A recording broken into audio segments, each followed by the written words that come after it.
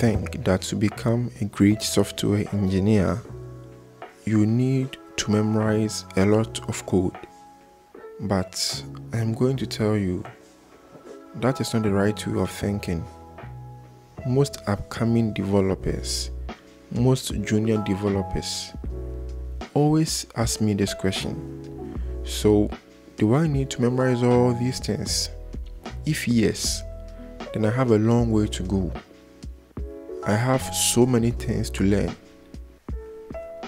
The first thing that you need to do is you need to normalize Googling and finding for stuff. You see, as upcoming developers, sometimes we think that programming or software engineering works as if we are in school. In school, when you are doing exams, you are not allowed to Google for stuff. But you see, we are in the software engineering space, we are in the programming phase. Over here, you are allowed to Google for stuff. This is not an exam. Google is there for you. This is how I always do my research. First of all, if I get a problem, I will try and Google that problem first. By doing so, there will be a couple of links. If I see a Stack Overflow link, that is the first thing that I click on it. If I do not get an answer from there, I continue and click on probably a GitHub issue link. Then, my last resort will be to give it to AI to help me. I always Google first before giving it to the AI. Very, very important. And with the AI, I only use about two to three tools ChatGPT, Claude, and Gemini 2.5. You know, it's okay to find stuff right. It's okay to Google for stuff, right? You are not a superhuman you can't keep all the things inside your head.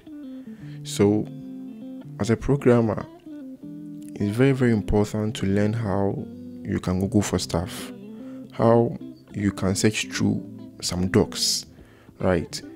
One example is how I would have uploaded images in my library.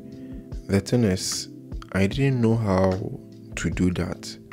So I just Googled and I had answers.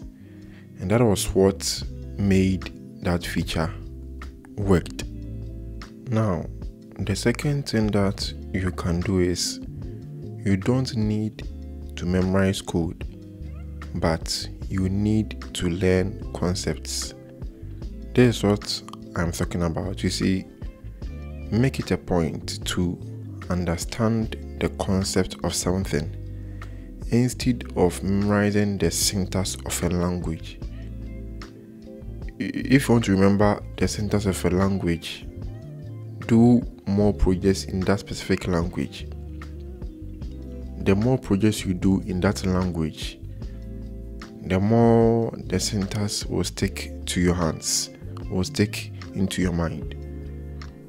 When we were doing mathematics in school, we did not memorize what is 2 by 13, but rather we learned the concept of multiplication. When we were given a question like what is 297 by 364, yes, we did not know the answer, but because we have learned the concept of multiplication, we used that concept on that same question and we were able to get an answer. The same goes for software engineering. Learn the concept and you'll be able to code very well and become a good engineer. Don't focus on the syntax. The syntax will come and go.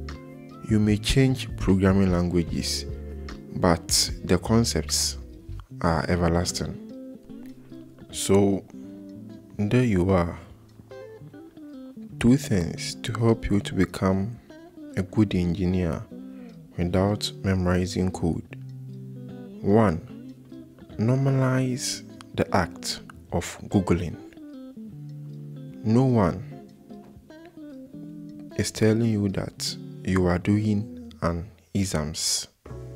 This is programming. This is not an exam. 2. Make sure to learn the concept and understand it. Don't memorize the sentence.